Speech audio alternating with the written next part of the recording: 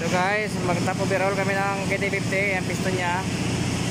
Yan, nilinisan.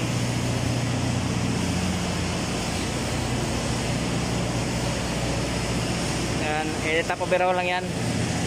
Piston ring lang yung papalitan ng bago.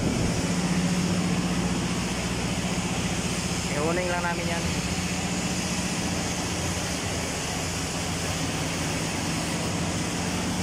Yan, dyan pala. Ang cleaning ng